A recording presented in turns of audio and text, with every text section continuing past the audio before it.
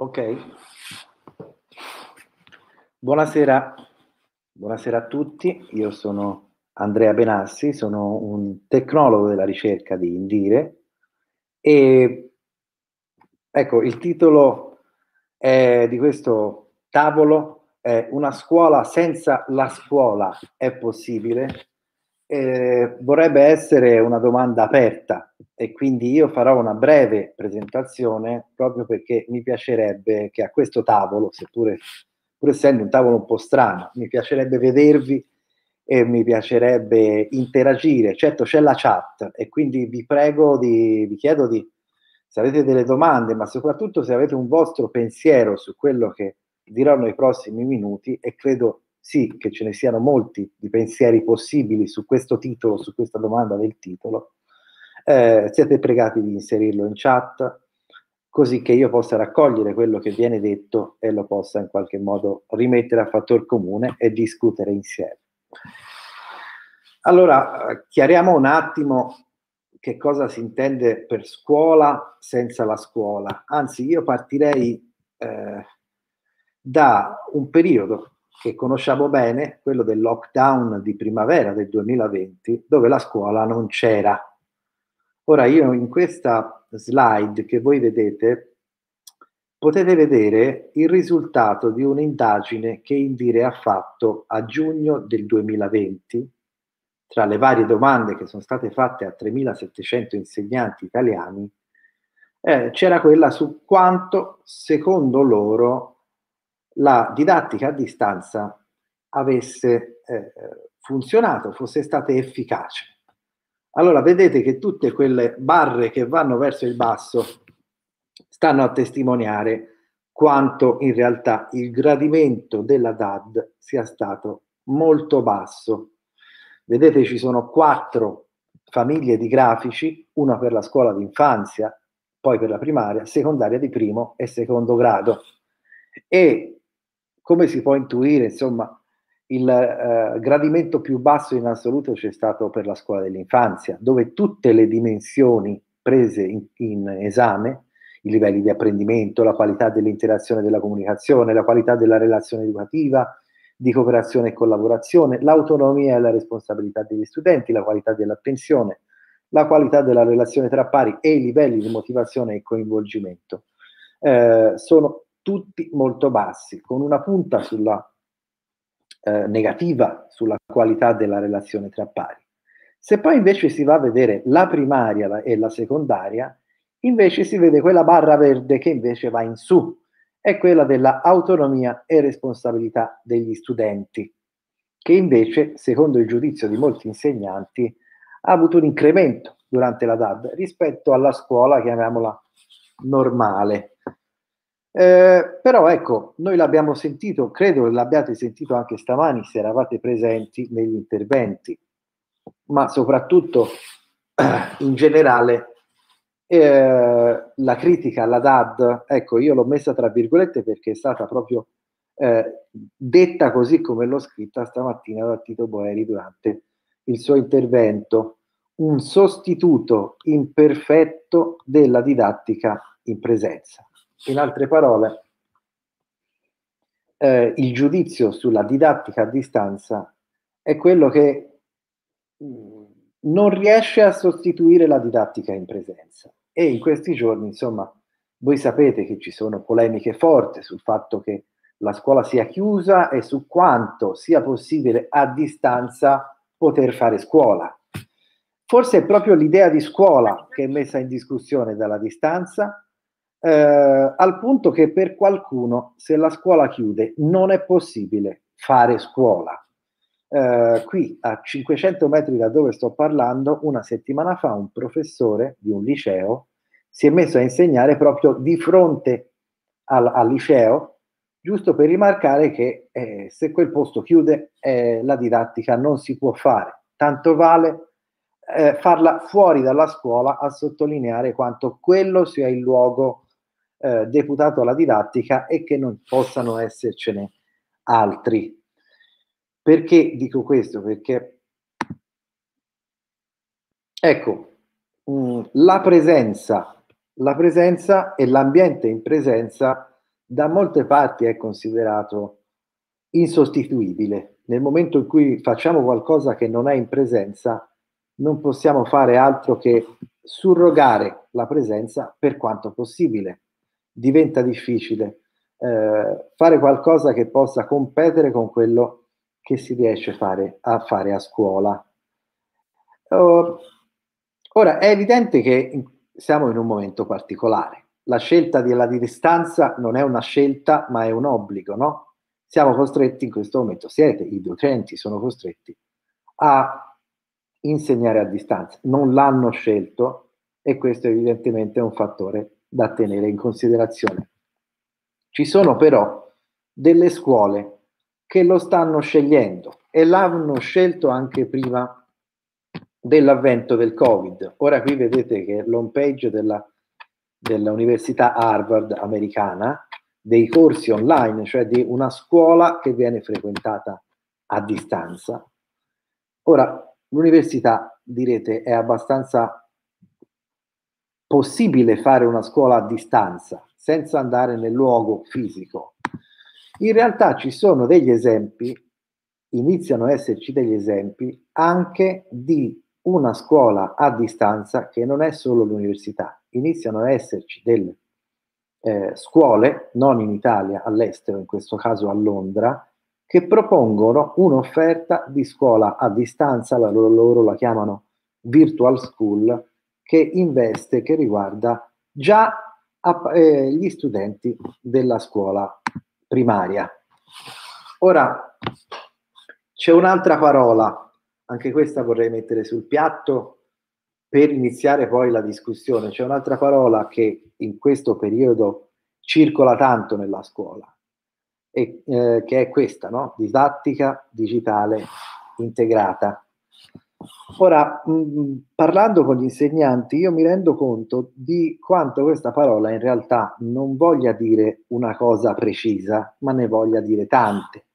Forse la colpa è proprio nel decreto ministeriale che mm, si dimentica, il decreto del 20 agosto di quest'estate, si dimentica di definire, di dare una definizione della didattica digitale integrata. Si limita a uh, descriverla in questi termini che ho messo a schermo, e cioè la didattica digitale integrata è una metodologia innovativa di insegnamento e apprendimento, complementare rispetto alla didattica in presenza, che integra la tradizionale esperienza di scuola in presenza della scuola secondaria di secondo grado, nonché in caso di nuovo lockdown, che in effetti è arrivato puntuale, di tutti i gradi di scuola. Quindi c'è un po' di confusione perché la didattica digitale integrata è complementare alla didattica in presenza, quindi è altro rispetto alla didattica in presenza, la complementa. Detta così, verrebbe da pensare che la didattica digitale integrata è una specie di nuova parola a indicare la didattica a distanza, perché anche quella complementava la didattica in presenza. O forse la didattica, la didattica, digitale integrata è quella didattica a distanza che si fa quando è possibile praticare anche la presenza. Insomma, il decreto non lo spiega. Ci sono però alcune persone, soprattutto ecco, in questo caso io mi riferisco al uh, professor uh, Pier Cesare Rivoltella dell'Università Cattolica di Milano, che individua quattro scenari di didattica digitale integrata. Quella dual modo ibrida, quella alternata, la didattica per progetti e la didattica per classi aperte. Andiamo a vederle una per uno. Allora, innanzitutto la didattica digitale integrata di tipo ibrida o a due modi. In questo caso stiamo parlando di una situazione, un setting didattico in cui alcuni studenti sono in presenza e altri sono a distanza contemporaneamente. La, la, la, diciamo così, la motivazione che in questo momento pesa per questo tipo di didattica è il contingentamento degli accessi a scuola e i punti di attenzione sono ovviamente i requisiti, sono una qualità della connessione evidentemente, ma anche un punto di attenzione che è molto discusso in questi giorni è la qualità del feedback. Molti lamentano che la parte che non è in presenza in qualche modo restituisce molto meno all'insegnante e al resto della classe di quello che è invece la parte in presenza. Vado alla seconda, al secondo scenario, quella alternata, la didattica alternata, cioè gli studenti sono a giorni alterni a scuola online. Anche qui la motivazione è il contingentamento degli accessi, l'insufficienza di spazi. E ecco, un punto di attenzione è che per certi versi questo tipo di, di, di scuola può essere considerata o assimilabile alla modalità flipped classroom, no? che non sto a spiegare in questo momento, ma credo che sia un termine abbastanza conosciuto e diffuso. Poi arriviamo a, invece a altri due scenari, inizio dalla didattica per progetti applicata alla didattica digitale integrata, che prevede in questo periodo un lavoro in gruppo sia in presenza che online.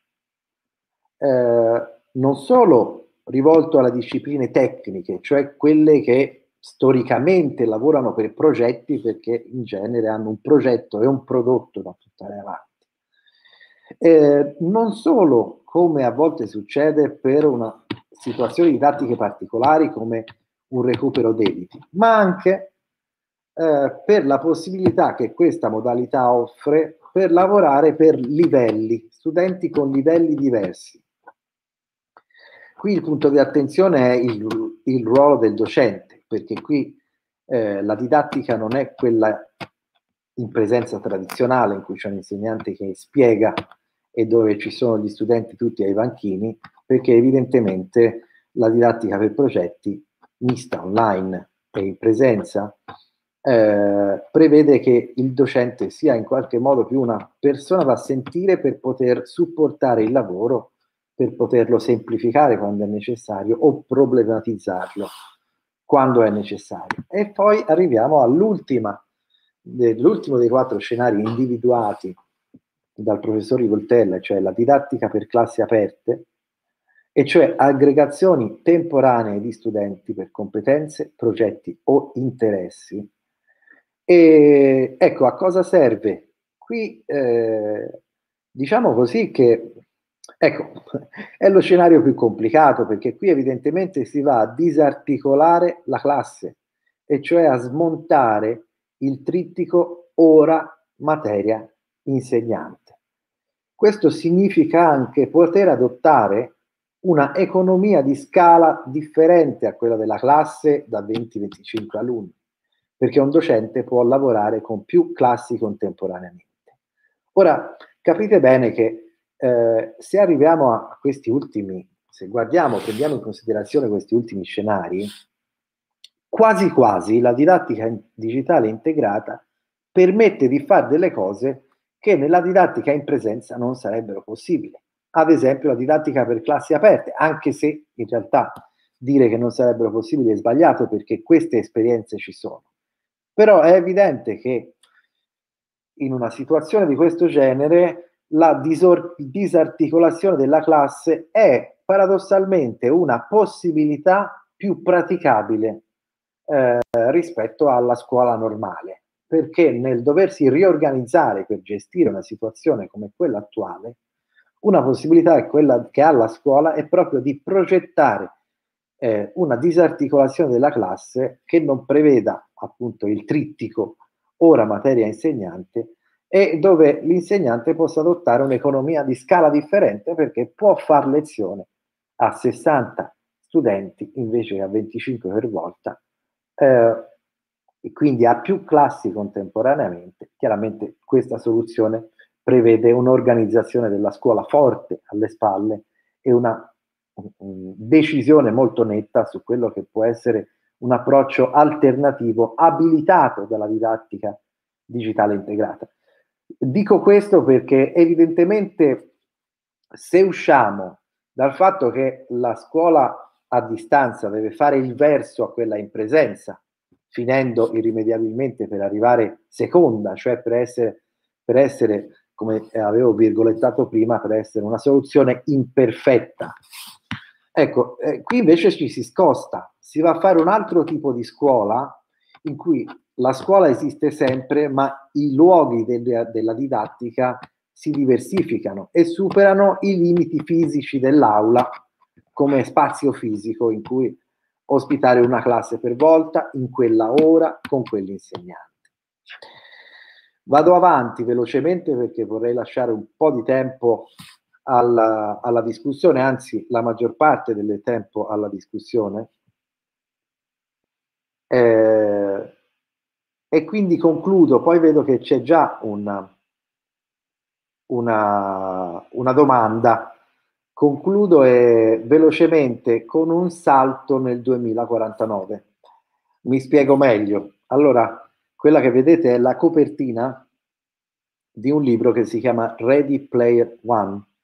Eh, probabilmente voi conoscete, avrete sentito dire il film che è stato tratto da questo libro, perché è un film di Steven Spielberg del 2018, non famosissimo, ma che comunque eh, ha tratto dell'attenzione, perché in questo film, di fantascienza evidentemente, si parla di una realtà distopica, come spesso succede ultimamente nei film di fantascienza, quindi un futuro non gradevole, in cui a causa di una crisi energetica le persone, in qualche modo, la qualità della vita è peggiorata è tanto peggiorata che la maggior parte delle persone decide di vivere una seconda vita nel virtuale, in un mondo virtuale condiviso. In questo libro, in questo capitolo del libro, eh, si inizia proprio con la descrizione di una scuola del 2049. Lo ripeto per, per correttezza, stiamo parlando di fantascienza. Eh, ve lo leggo velocemente. Le palpebre del mio avatar si spalancarono e mi ritrovai nell'aula di storia mondiale. Tutti i banchi intorno al mio erano occupati da altri studenti e il nostro insegnante, il signor Avenovic, si stava materializzando davanti ai nostri occhi. Apro parentesi, qui stiamo evidentemente parlando di un insegnante che si collega in una classe virtuale, non nel senso di Google o di Teams, eccetera, ma proprio nella realtà virtuale. L'avatar del signor Avenovic, l'insegnante, era un professore di college barbuto e corpulento, aveva un sorrisetto contagioso, indossava un paio di occhiali con la montatura in metallo e una giacca di tweed con le toppe ai gomiti. Quando parlava sembrava sempre che stesse leggendo un passo di Dickens. Mi piaceva, era un bravo professore, ovviamente non sapevo chi fosse nella realtà né dove vivesse. Non potevamo nemmeno sapere il suo vero nome o se fosse davvero un uomo per quanto ne sapevamo, avrebbe anche potuto essere una piccola Inuit che viveva ad Anchorage in Alaska che aveva scelto questo aspetto e questo timbro di voce per mantenere viva l'attenzione degli studenti durante le lezioni. Ma per qualche ragione sospettavo che l'avatar del signor Avenovic fosse e parlasse proprio come la persona che l'aveva creato. Gli insegnanti che avevo erano più o meno tutti fantastici, a differenza dei loro colleghi del mondo reale, sembrava che agli insegnanti della scuola pubblica piacesse davvero il proprio lavoro e questo probabilmente perché non dovevano sprecare metà del tempo a fare da balia o da cani da guardia. Era il software a occuparsi della disciplina, accettandosi che gli studenti rimanessero ai propri banchi, in silenzio. Tutto ciò che gli insegnanti dovevano fare era insegnare. Anche tenere alta l'attenzione degli studenti era più semplice online, perché le aule erano come dei ponti ologrammi e ogni giorno i professori potevano portare gli studenti in gita virtuale senza nemmeno lasciare la stanza. Durante la lezione di storia mondiale di quella mattina il professor Avenovic caricò la simulazione di quando gli archeologi nel 1923 scoprirono la tomba di Tutankhamon. Il giorno prima eravamo stati in quello stesso punto, ma era il 1334 a.C. e avevamo visto con i nostri occhi l'impero di Tutankhamon in tutto il suo splendore. E via dicendo, mi fermo qui per dire cosa. Qui c'è un'ipotetica, fantasiosa idea di quello che potrebbe essere la scuola eh, tra 30 anni. Evidentemente eh, si capisce che ci sono delle opportunità in questa scuola nella realtà virtuale, ma immagino che vengano un po' di brividi a pensare che a un certo punto la scuola in presenza possa essere surrogata dalla realtà virtuale. Evidentemente questo, queste prospettive pongono, pongono degli interrogativi, perché da una parte è evidente che se questa tecnologia esistesse già oggi e probabilmente sarebbe possibile continuare a far lezione come l'abbiamo sempre fatta, magari anzi con qualche vantaggio, con quella di, come ad esempio quello di poter andare a visitare la tomba di Tutankhamon insieme all'insegnante senza muoversi fisicamente dalla classe, però anche con tutta una serie di interrogativi che si pongono sulla qualità della relazione mediata da un avatar, cioè mediata dalla realtà virtuale, e soprattutto ci pone la domanda, è davvero questa la scuola che vorremmo nel 2049?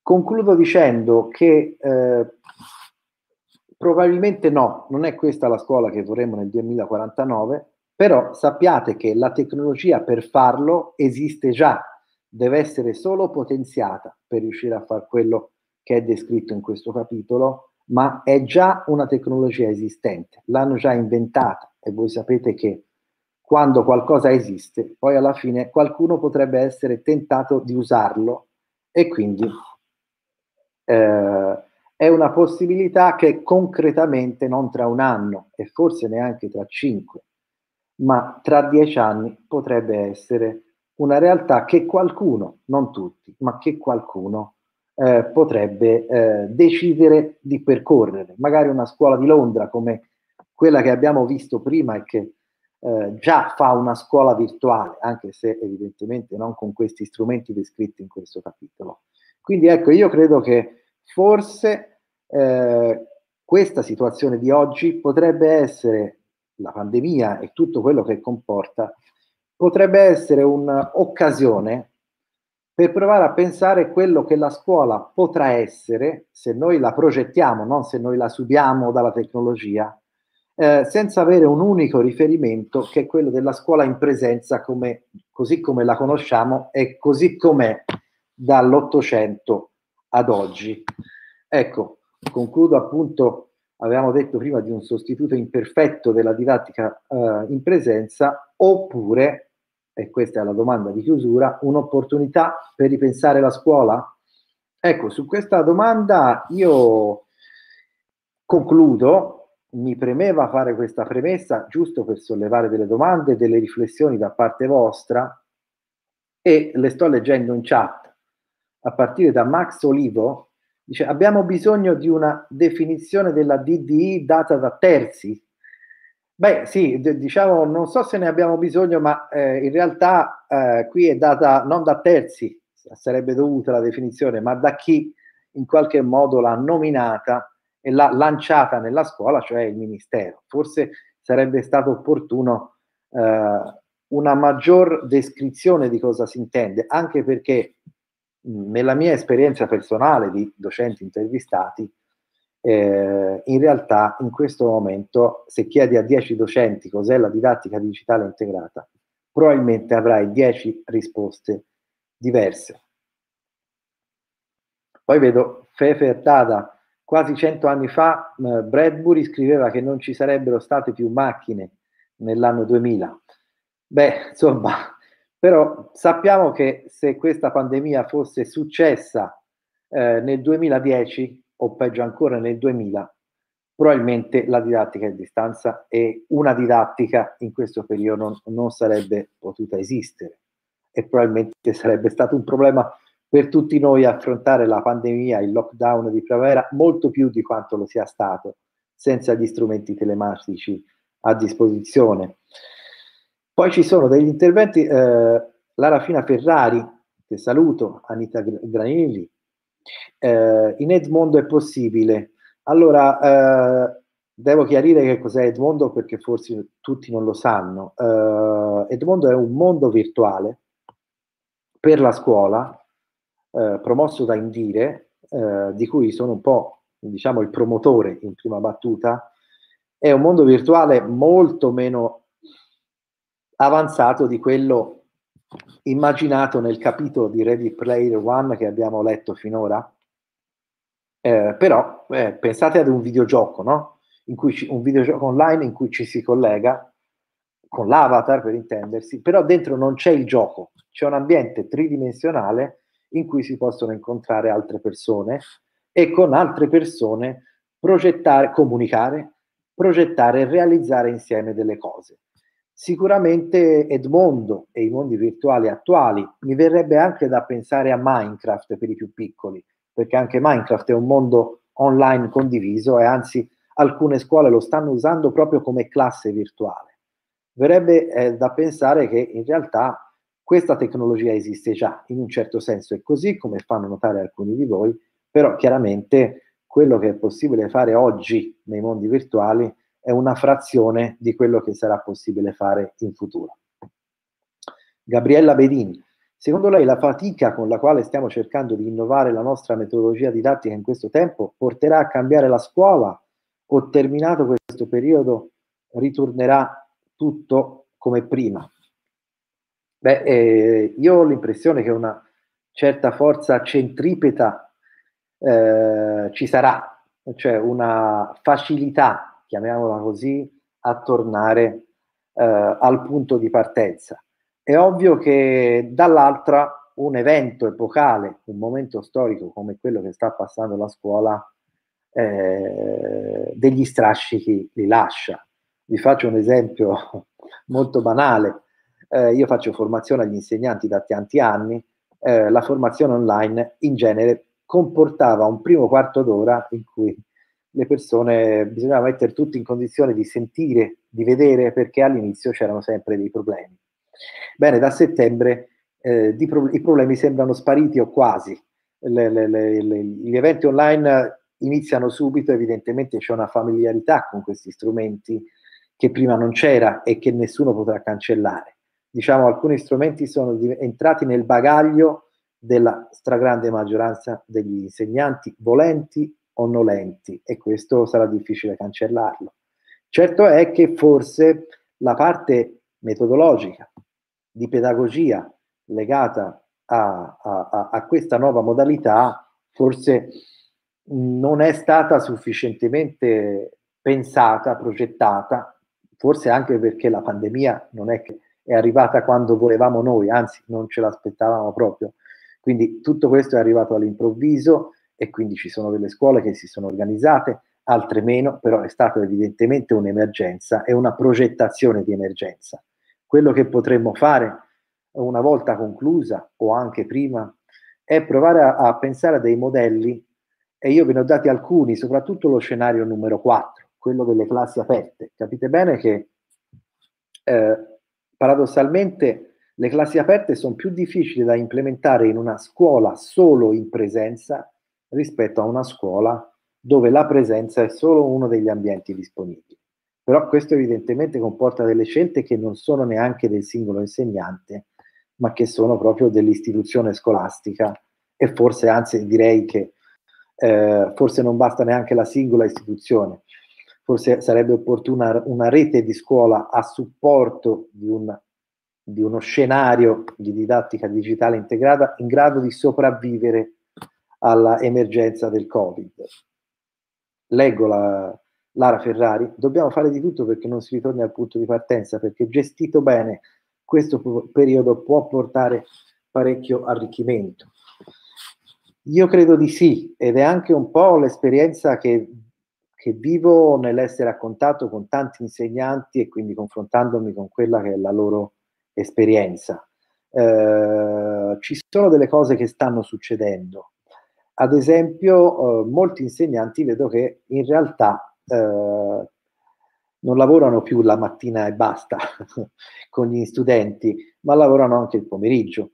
Ci sono degli studenti che vengono continuamente interpellati dai loro studenti, anche nelle ore pomeridiane, a volte succede anche dopo, eh, perché evidentemente la caratteristica forse principale della didattica non in presenza è la asincronicità, eh, la possibilità per degli studenti di lavorare ad una cosa specifica non solo dalle 9 alle 10 o dalle 10 all'11 con la presenza dell'insegnante, ma di poter, eh, eh, di poter in qualche modo eh, organizzarsi un lavoro forse su un modello che viene più dal mondo professionale. Allora, eh, qui c'è una domanda interessante. Eh, Chiara Stancari, liceo Vinci. I ragazzi soffrono la mancanza di relazione. ne hanno bisogno, è parte dell'essere uomo.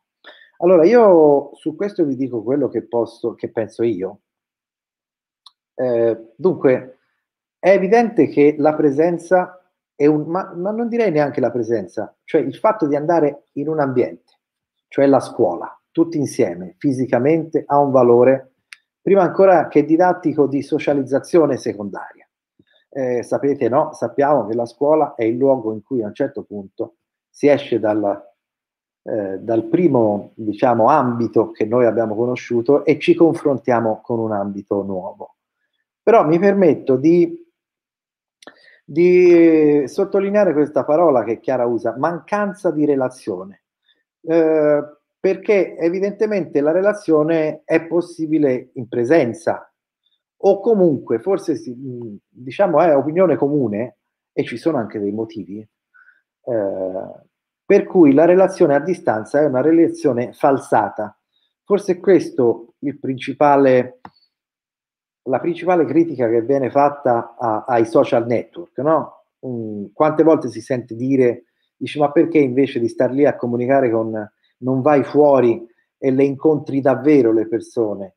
Evidentemente dietro a questo c'è l'idea che la relazione attraverso gli strumenti telematici sia una relazione falsata. Io mi permetto di dire che non sono d'accordo, non credo che la, la relazione a distanza sia mancanza di relazione, evidentemente è una relazione di tipo diverso. Non credo neanche che la relazione a distanza sia una relazione falsata, e cioè che per conoscere davvero qualcuno bisogna in qualche modo essere, averlo eh, sotto mano, cioè poterlo frequentare con la presenza. Io credo che si possa conoscere qualcuno anche a distanza, o per contro, io credo che eh, in realtà eh, il conoscere davvero qualcuno o no non dipenda né dalla presenza né dalla distanza. Vi faccio un esempio personale. Eh, io quando andavo a scuola, nella scuola superiori, eh, notai, l'ho notato a posteriore perché ero un ragazzo, soprattutto nei primi anni, notai che la mattina quando andavo a scuola a Firenze, io che sono di un paesino a 30 km da Firenze, notai che in realtà la mattina a scuola, in quel contesto, con quelle persone, con quei compagni di scuola, ero una persona e poi nel pomeriggio con i miei amici del paese ero un'altra persona. Mi adattavo al contesto, avevo, non dico due identità diverse, ma probabilmente avevo due personalità diverse, a seconda dell'ambiente che frequentavo, la scuola la mattina, gli amici e il paese il pomeriggio eh, evidentemente era il contesto che, eh, a cui io mi adattavo. E quando eh, io eh, mi relaziono a qualcuno attraverso i social network, è evidente che il contesto social network ha un'influenza su come gli altri mi vivono e su come io vivo gli altri. Ma questo non dipende dal fatto che siamo mediati da una tecnologia, ma dipende dal contesto a cui tendiamo molto spesso ad adattarci. Eh, vi parlavo dei mondi virtuali, io mi capita spessissimo di comunicare, di incontrare virtualmente degli insegnanti nei mondi virtuali e alcune di queste persone le ho conosciute solo da qualche anno. Eppure, in qualche modo, quando le ho conosciute in presenza, le ho riconosciute. In qualche modo era davvero come se noi ci conoscessimo da un po' di tempo. Ecco, questa è una cosa che mi è capitato molto spesso.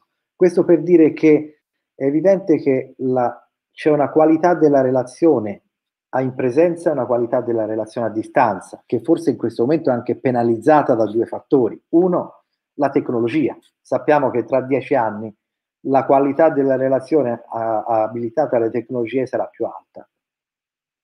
Due, probabilmente dalla minor dimestichezza che noi abbiamo con la distanza, con la relazione a distanza rispetto alla relazione in presenza. Minor dimestichezza che però è un più un problema degli insegnanti, come sappiamo, che degli, eh, degli studenti. Leggo ancora delle cose. Eh, Rosa Salerno, ad esempio, eh, gli studenti di oggi potranno essere domani gli insegnanti capaci di pensare a una scuola innovativa. Credo di sì, anche perché voi lo sapete bene. Mm, mm, la scuola è un qualcosa che un insegnante impara, soprattutto quando entra a scuola, il modello di riferimento è la scuola che ha fatto lui.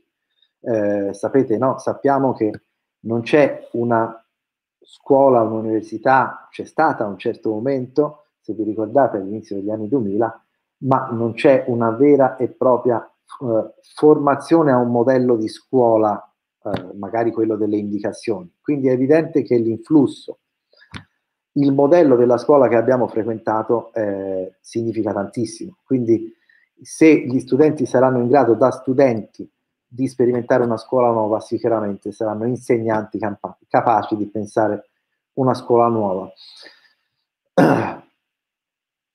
Eh, dunque, un altro intervento. Questo non potrebbe diventare un rischio, niente orario, domenica o feste. I messaggi non verbali sono molto più importanti quando parliamo di ragazzi e ragazzi con timidezza e si perdono tutti con didattica a distanza. Dunque, credo che il rischio a cui eh, si riferisca è, è un, qualcosa che ho detto qualche minuto fa, riferito al fatto che evidentemente eh, nella didattica a distanza si rischia di non avere più orari, cioè si partecipa in presenza nella scuola normale dalle 8.30 fino alle 1 oppure oltre, però chiaramente poi si stacca, mentre nella didattica a distanza in molti casi non si stacca. Eh, lo dico da smart worker in questo momento, eh, è molto più complicato rispetto a quando mi reco in ufficio eh, distinguere quando sto lavorando e quando non sto lavorando, perché il tempo di lavoro entra continuamente a tutte le ore anche dopo cena nel tempo libero e a volte il tempo libero entra nel tempo di lavoro, però diciamo non è più un tempo contingentato. E questo evidentemente è un rischio e che richiede una strategia, però è anche un'opportunità, eh, quella di poter distendere eh, il lavoro e di usare eh, una modalità asincrona per poter lavorare. Eh, eh poi sempre eh, dello stesso messaggio, i messaggi non verbali sono molto più eh, importanti quando parliamo di ragazzi e ragazze con timidezza e si perdono tutti con didattica a distanza.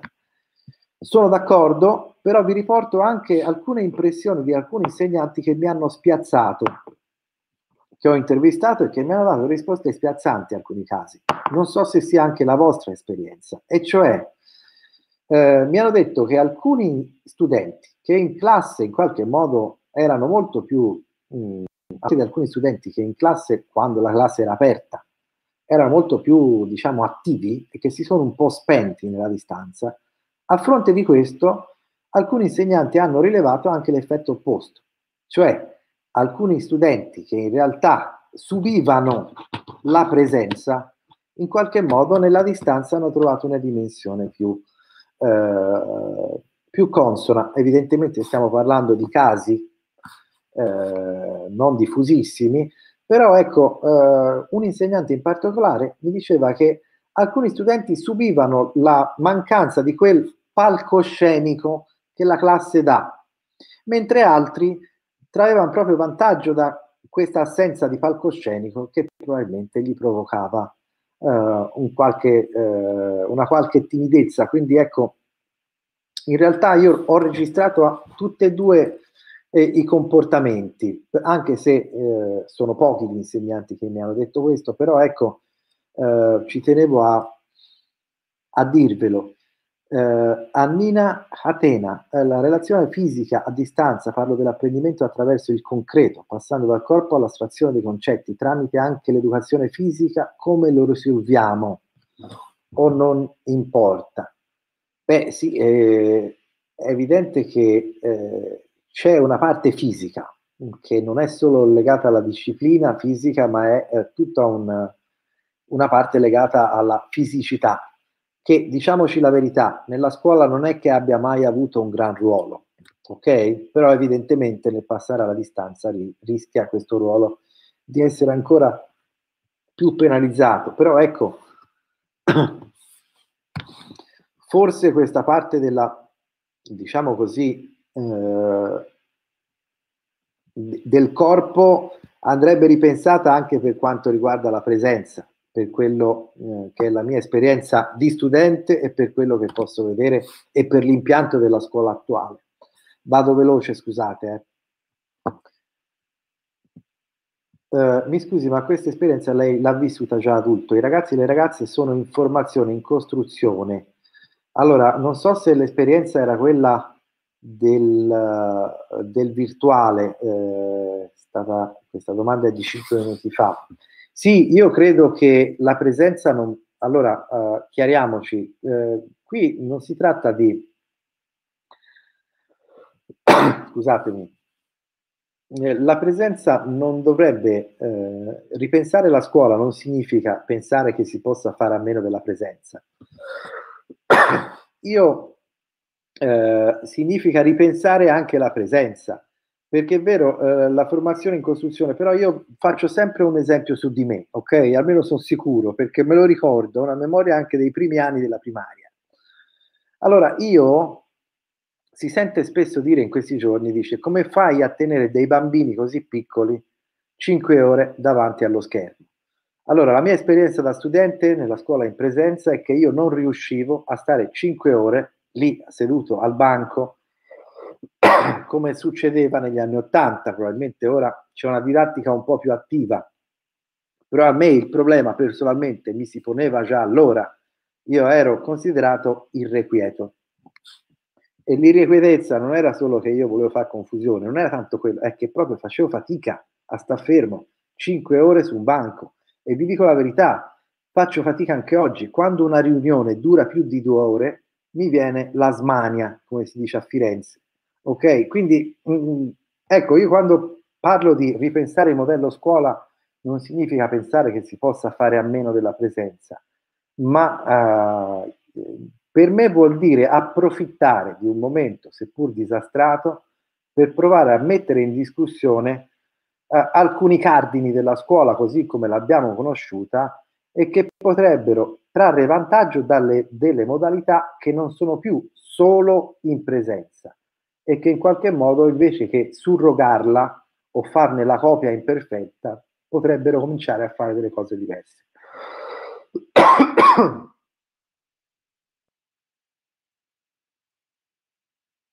eh, Chiara, la maggior parte dei ragazzi dietro uno schermo si zittisce, si autolimita, l'interazione muore. Eh, questo però, Chiara, è un po' in... Uh, cioè i ragazzi, la, la critica che facciamo ai ragazzi è che davanti allo schermo ci stanno troppo, ok? Quindi evidentemente loro non sono a disagio davanti allo schermo, sono a disagio quando quei strumenti che loro usano con frequenza, anche troppo, al punto che noi dobbiamo limitarli, quando vengono usati per la scuola. Questo è un discorso da capire perché eh, quello che si vede in giro è che i ragazzi davanti allo schermo ci stanno tutto il giorno, pure troppo. Bisogna cercare di capire come mai quando è la scuola a accendere lo schermo i bambini si zittiscono. Questo secondo me sarà da capire evidentemente ci vorrà del tempo e io credo che però questa situazione sia un ottimo punto di osservazione per questo.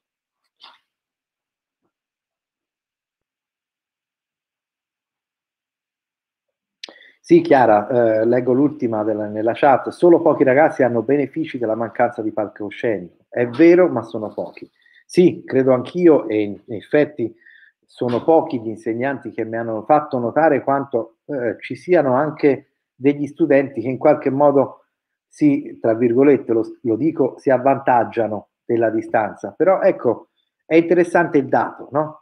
Che evidentemente la scuola, la classe, il setting d'aula della scuola è un palcoscenico, a cui, eh, che evidentemente fa più gioco ad alcuni studenti che ad altri, al primo della classe o e non solo, però evidentemente mh, eh, bisogna secondo me capire se il palcoscenico sia una eh, condizione pedagogicamente sempre opportuna in ogni caso, oppure se ci siano delle situazioni diverse, personalizzate forse si potrebbe dire, eh, che in qualche modo possono essere combinate per venire incontro anche alle personalità, alle capacità e alle, diciamo così, alla, alle intelligenze di ognuno.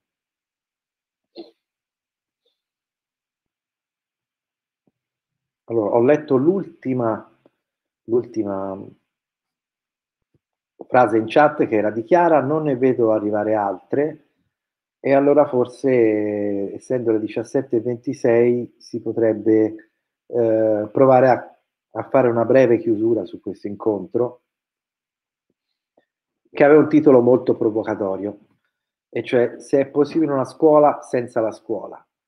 Eh, evidentemente non è quello che vogliamo, cioè non è che noi vogliamo che da domani non esista più un edificio che non ha solo una funzione didattica ma ne ha tante altre, forse anche troppe, mi verrebbe da pensare, se penso soprattutto a tutte quelle mamme che se ai bambini sono a casa gli si scombina la vita al punto che, eh, che a, a arrivare a, a, vicino a una crisi di nervi. Evidentemente le funzioni della scuola sono tante, sono didattiche, sono di socializzazione secondaria, sono probabilmente anche esigenze di organizzazione di una società in cui tutti e, i due genitori lavorano e hanno bisogno di un'istituzione che si prenda in carico dei bambini fino a una certa ora. Leggo anche Mariuccia, scusate, nella scuola dove insegnavo la presenza di studenti extracomunitari era massiccia.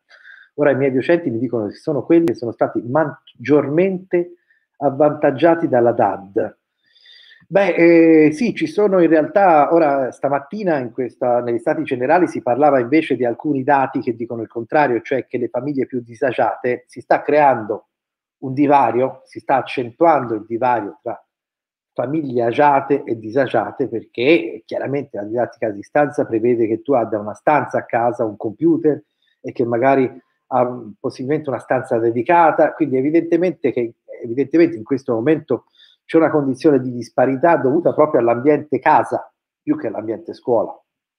Però credo anche io che in alcuni casi dove ci sono delle condizioni, eh, la distanza possa far emergere dei valori che la classe non fa emergere. Io credo che sia sbagliato considerare la classe come un ambiente neutro. La classe evidentemente non è un ambiente neutro, avvantaggia, tra virgolette, alcuni tipi di studenti rispetto a altri e probabilmente ci sono degli ambienti complementari che potrebbero in qualche modo, in alcuni casi, compensare. Lara Ferrari, credo sia necessario ripensare all'attività da proporre ai nostri alunni e di renderli protagonisti del loro percorso. È un'opportunità, lo dicevamo anche prima del Covid questo, eh? questo è un discorso che nella scuola circola da molto tempo